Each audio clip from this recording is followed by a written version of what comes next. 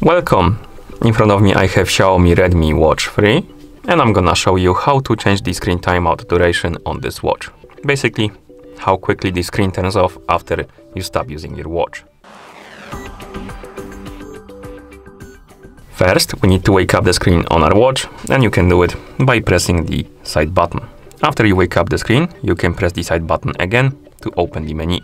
Now, scroll through the menu, find the settings icon and tap on it to enter the settings. In settings, scroll down, find the display option and tap on it. And here you should see the option called auto lock. Tap on it. Let's wake up the screen and tap on it right here. It will open the list of durations. You can scroll through this list by swiping on the screen. Select the duration you would like to use for your screen timeout, for example, 10 seconds, and then tap on the checkmark to confirm. And now my screen should turn off automatically after 10 seconds of an activity. So if we wait for a couple more seconds, it should turn off like this. Okay, and that's how you change the screen timeout duration on this watch.